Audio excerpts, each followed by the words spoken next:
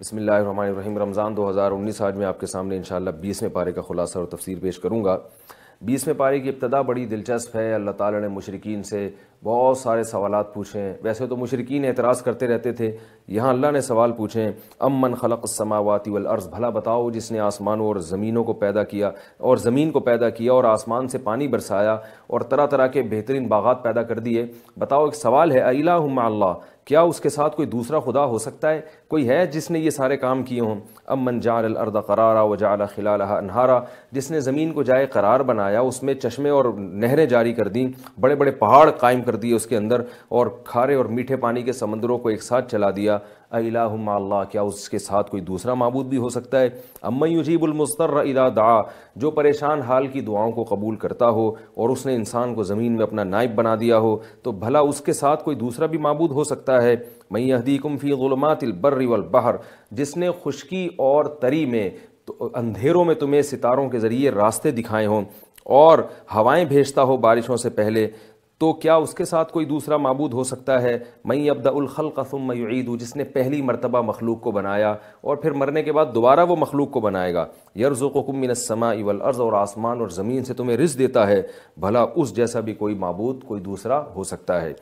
یہ ابتدا تھی اس پارے کی اور اس میں اللہ تعالیٰ نے سوال پوچھے۔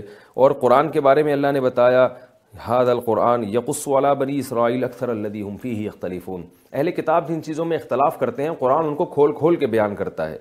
اور جب یہ قرآن کی دلائل نہیں سمجھتے، تو اللہ نے بتایا ان لا تسمع الموتا اے نبی، آپ مردوں کو نہیں سنا سکتے۔ ولا تسمع الصم دعا بہروں کو آپ نہیں سنا سکتے جبکہ وہ پیٹ پھیر کے بھاگ بھی رہے ہوں۔ تو یہ بھی اندھے اور بہرے اور مردوں کی طرح ہیں جن کی حق میں دلائل کا پیش کرنا اور پیش نہ کرنا برابر ہے۔ لہذا یہ ایمان نہیں لاتے تو آپ غم نہ کریں۔ آپ نے اپنی ذمہ داری پوری کر دی ہے۔ پھر اللہ نے قیامت کی ہولناکیوں کا ذکر کیا، یوم ينفخ فی الصور ففزع من فی السماوات ومن فی الارض الا من شاء اللہ۔ ایک دن قیامت قائم ہوگی اور روحیں بے ہوش ہو جائیں گی۔ کل اتوہ داخرین۔ سب فرما بردار ہو کے اللہ کے سامنے حاضر ہوں گے۔ اور پھر اللہ کا اصول ہے منجا بالحسنہ، جو نیکی لے کر آئے گا فلاح خیر منہا، اس کو زیادہ اچھا بدلہ ملے گا، اور جو برائی لے کر آئے گا، اس کو اونھا کر کے جہنم کی آگ میں ڈال دیا جائے گا۔ اس کے بعد سورہ قصص ہے جس میں اللہ نے موسا علیہ السلام کا واقعہ بالکل ابتدا سے بیان کیا، بہت دلچسپ۔ نتلو علیہ کمی نبع موسا و فرعون بالحق۔ آؤ ہم تم کو موسا اور فرعون کا واقعہ ٹھیک طریقے سے سناتے ہیں۔ فرعون نے زمین میں سرکشی کر رکھی تھی اور لوگوں کو کمزور بنا کے رکھا ہوا تھا اور مردوں کو قتل کرتا تھا، عورتوں کو زندہ چھوڑتا تھا۔ تو ہم نے ارادہ کیا کہ کمزور ترین قوم کو زمین کی خلافت دے دیں۔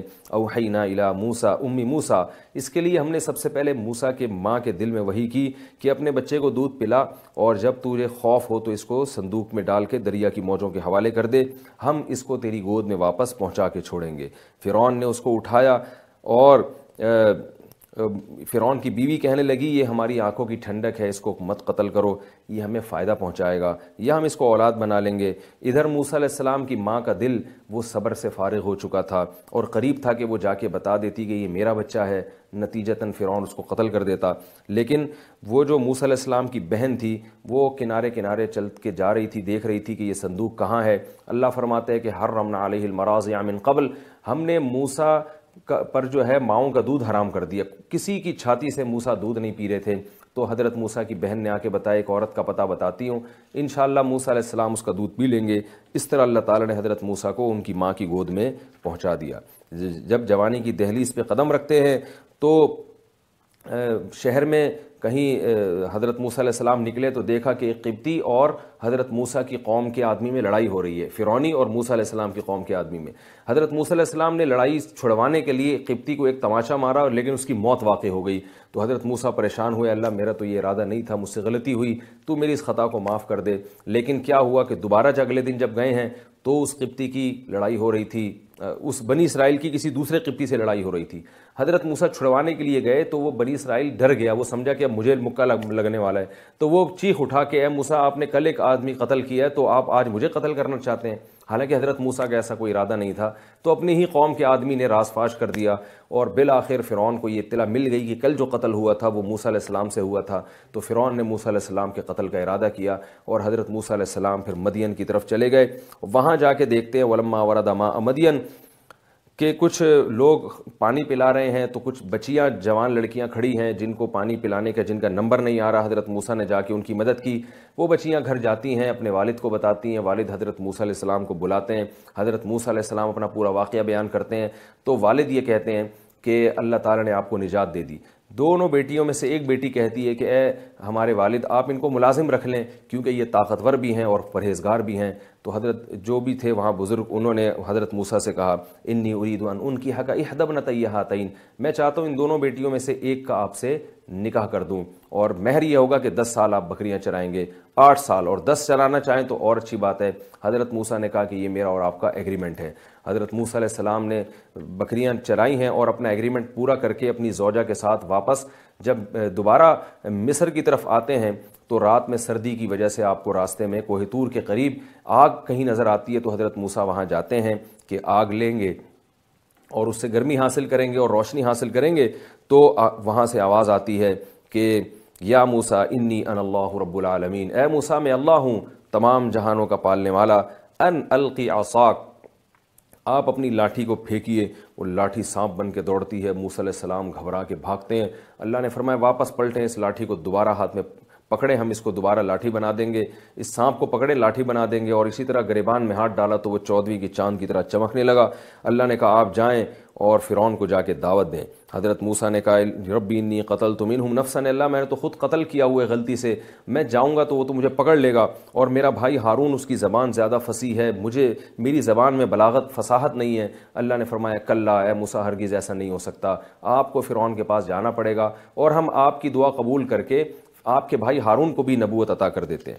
قرآن کہتا ہے، جب موسیٰ علیہ السلام ان نشانیوں کے ساتھ فرعون کے پاس آئے ہیں، تو فرعون نے ماننے سے انکار کر دیا اور کہنے لگا، ما علم تو لکم من الہ غیر غیری، میرے سوا کوئی معبود نہیں ہے۔ اور ہارون سے کہنے لگا اپنے وزیر حامان سے کہنے لگا اپنے وزیر سے کہ کوئی سیڑھیاں بناؤ، آسمان پہ چڑھ کے موسا کے رب کو دیکھتے ہیں، ہمیں تو کہیں نظر نہیں آتا۔ اللہ فرماتے ہیں، اس نے تکبر کیا اور زمین میں ناحق اکڑ دکھائی فرعون نے۔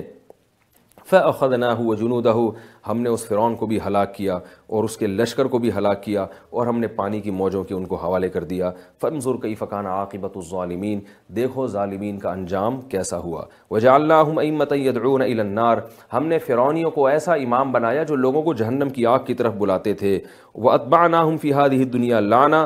دنیا میں بھی ان کے اوپر لعنت ہوئی۔ وَيَوْمَ الْقِيَامَةِ هُمْ مِنَ الْمَقْبُوحِينَ۔ اور آخرت کے دن بھی وہ لوگ کبھی لوگوں میں سے ہوں گے قابل تعریف نہیں ہوں گے۔ اس کے بعد اللہ نے موسیٰ علیہ السلام کو کتاب دی، بنی اسرائیل تاکہ اس کتاب پر عمل کرے اور اللہ کے حکامات کو پورا کرے۔ قرآن مجید میں اللہ تعالیٰ نے مشرقین کے اس قول کا بھی ان آیتوں میں ذکر کیا کہ مشرق کہتے ہیں کہ اگر ہم آپ پر ایمان لے آئے تو ہمیں تو زمین سے نکال دیا جائے گا۔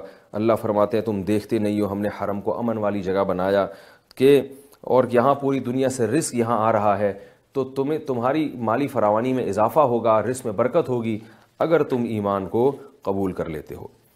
اللہ تعالیٰ نے اس صورت میں، سورہ قصص میں اپنی نشانیاں بیان کی جعل ان جعل اللہ علیکم اللیل سرمدن الى یوم القیامہ۔ بتاؤ، اگر اللہ ہمیشہ کے لیے رات کو تم پر مسلط کر دے، تو کون ہے جو دن کی روشنی لے کر آئے؟ اور جو دن کو تم پر مسلط کر دے، تو کون ہے جو رات کی اندھیرا لے کر آئے، جس میں تم سکون کی نیند سوتے ہو؟ اسی کی رحمت ہے جس نے تمہارے لیے رات بھی بنائی اور دن بھی بنایا۔ اس کے بعد اللہ نے قارون کا واقعہ بیان کیا کہ قارون موسیٰ علیہ السلام کی قوم میں تھا، بنی اسرائیل میں تھا، دولت بہت تھی تو حضرت موسیٰ نے اس کو سمجھایا اور قوم کے نیک لوگوں نے بھی سمجھایا کہ تو اس دولت پر اترا نہیں۔ کیونکہ اللہ تعالیٰ اترانے والوں کو پسند نہیں کرتے۔ وب تغیفی ماں عطا اللہ دار الآخرہ اللہ نے تجھے جو دولت دی اس میں آخرت کو تلاش کر۔ ولا تنسن تنس نصیب کا منت دنیا اور یہ بھی سوچ کے تو نے دنیا میں رہنا کتنا ہے، اس میں سے تو دنیا میں کتنا کھا لے گا۔ وہ احسن کما احسن اللہ علیہ اور جیسے اللہ نے تیرے اوپر احسان کیا، تو بھی اللہ کی مخلوق پر احسان کر۔ اور زمین میں فساد نہ مچا۔ تو قارون کہنے لگا انما اوتی تو اعلیٰ علم عندی یہ میں نے اپنے علم سے، اپنی مہارت سے، یہ میں نے یہ یہ دولت کمائی ہے۔ تو اللہ تعالیٰ فرماتے ہیں، ایک دن زیب و زینت کے ساتھ نکلا ہے اپنی قوم میں۔ تو جو دنیا پرست لوگ تھے کہنے لگے، یا علیہ تعالیٰ مثلما ہوتی ہے قارون۔ ہائے کاش، ہمیں بھی ایسی دولت ملی ہوتی جیسی قارون کو ہے۔ تو علم والے کہنے لگے وہی لکم، تم تباہ ہو جاؤ۔ ثواب اللہ خیر المن امن وعمل صالحہ اللہ آخرت میں جو ثواب دے گا نا نیک اعمال پر، وہ اس سے کئی گنا زیادہ ہے۔ یہ قابل فخر چیز نہیں ہے۔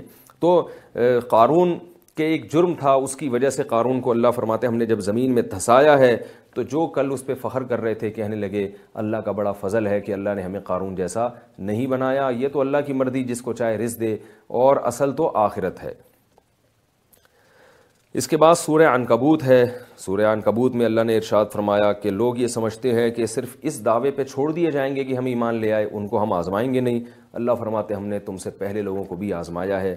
اسی صورت میں اللہ نے والدین کے ساتھ اچھے سلوک کا بھی حکم دیا، لیکن یہ بتایا کہ اگر وہ شرک کا حکم دیں تو ان کو فالو نہیں کرنا۔ اور اللہ نے بتایا کہ اللہ تمہیں آزمائیں گے مختلف طریقوں سے، اور یہ دنیا کے سامنے ظاہر کر کے چھوڑ دیں گے کہ کون منافق ہے اور کون حقیقی مومن ہے۔ پھر نو علیہ السلام کا مختصر واقعہ بیان کیا گیا، ابراہیم علیہ السلام کا اپنی قوم کے ساتھ مکالمہ بیان کیا گیا اور قوم ایمان نہیں لے کر آئی، لیکن حضرت لوت علیہ السلام جو آپ کے بھانجے تھے وہ ایمان لاتے ہیں اور پھر وہ اپنی قوم میں جا کے دعوت دیتے ہیں۔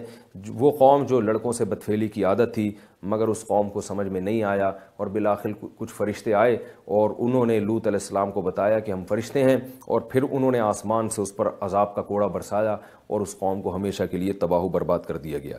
پھر اللہ نے شعیب علیہ السلام کا واقعہ بیان کیا، لیکن بتایا کہ شعیب علیہ السلام کی قوم نے بھی نہیں مانا اور پھر اللہ نے بتایا کہ قوم عاد، قوم سمود نے بھی پیغمبروں کی دعوت کو جھٹلایا اور ان کا انجام دیکھو کیا ہوا۔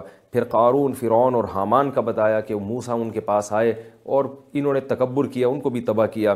فکلن اخذنا بدمبی اللہ فرماتے ہم نے ہر قوم کو اس کے گناہ کے بدلے میں پکڑا ہے۔ فمن ہمن ارسل علیہ حاصبہ کسی قوم پر تو ہم نے آسمان سے پتھر برسائے۔ ومن ہمن اخذت حسیحہ کسی کو زوردار آواز نے پکڑا۔ ومن ہمن خصفنا بھی الارض۔ کسی قوم کو زمین میں دھسایا۔ ومن ہمن اغرقنا۔ اور کچھ قومیں ایسی تھیں جن کو ہم نے پانی میں غرق کر دیا۔ وما خان اللہ لیظلمہم۔ اللہ ظالم نہیں ہے ولاکن کان ونفسہم یظلمون۔ یہ لوگ خود اپنی جان پہ ظلم کیا کرتے تھے۔ اور اس پارے کے آخر میں اللہ نے مثال دی ہے کہ جو کافر لوگ اسلام کے خلاف سازشیں کر رہے ہیں، فرمایا ان کی مثال مکڑی کے جالے کی طرح ہے۔ اتخذت بیتا، جو اپنے خیال کے مطابق بڑا مضبوط گھر بناتی ہے، لیکن گھروں